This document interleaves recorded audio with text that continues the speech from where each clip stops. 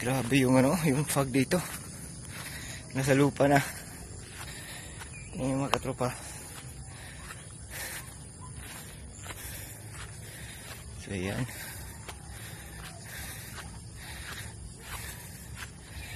Grabe yung fog. So yan.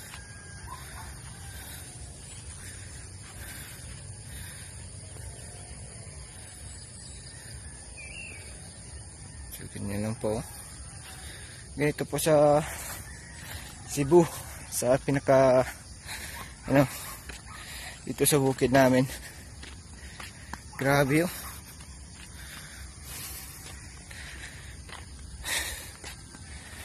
Ang agang-aga dito.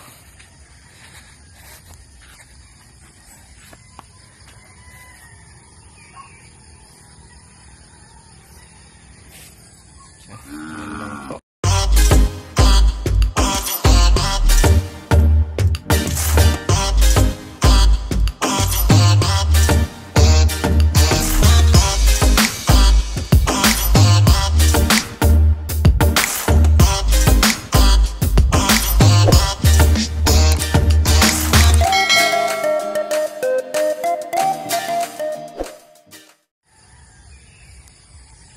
Grabe mga tropa. Good morning po sa lahat. Grabe. Grabe yung fog dito. Yun.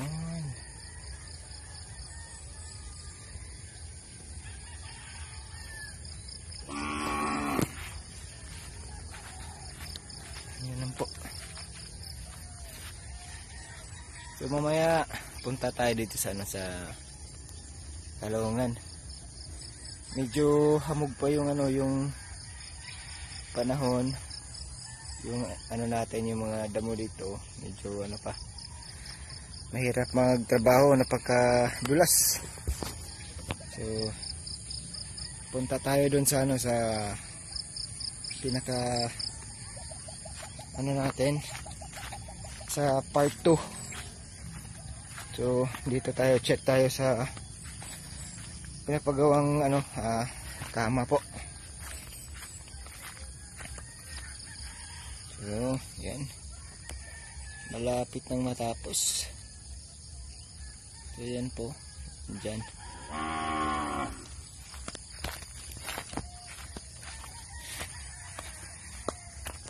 ano lang to? Ah, tatlong araw tapos na. Kaya check tayo. So yan mga katropa yung eh, eh. Yan po, yung tinanim ko dito. Ayun, lumabas na yung ano, pinaka gitna niya. Yan o, yung gradula. Yan yung bulaklak.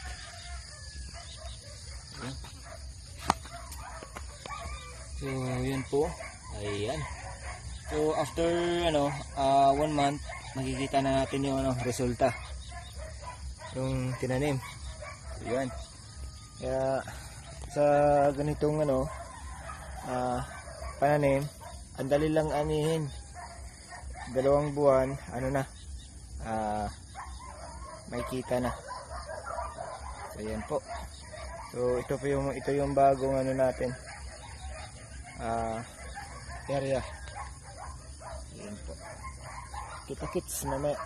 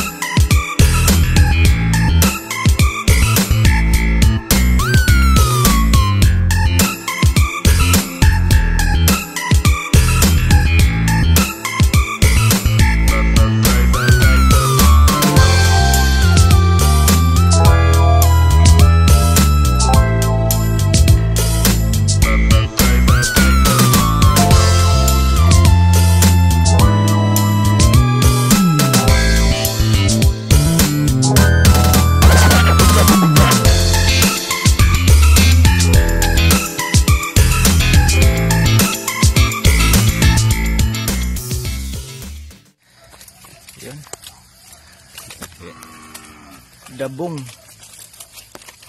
Ah, bakit?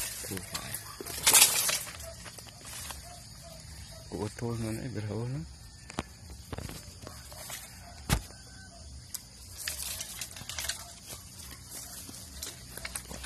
Nakutol na na.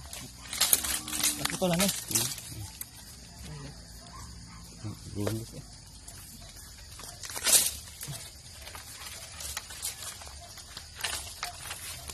So, ito yung labong. Ayan, sa kawayan. Sarap nito mga ka tropa.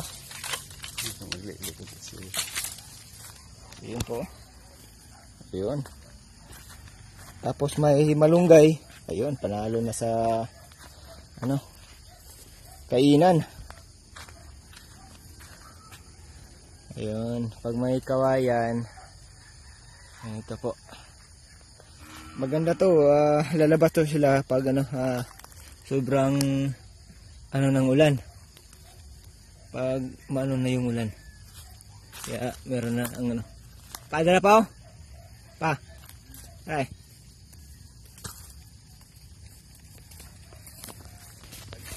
Ang hirap pong ano. Kukunin, yun oh, labong. Ayan.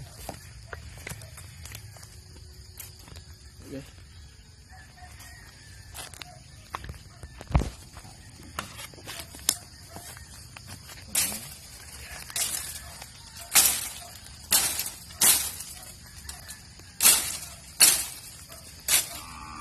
sarap gagawin itong ano, ah, lumpia. Yan o. Tataba ng ano, yung laman.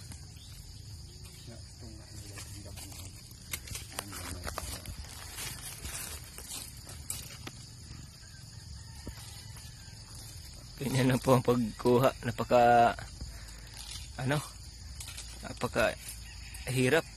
Kaya para masarap to eh. Tingnan nyo, pag ang tulis ng ano, kawayan.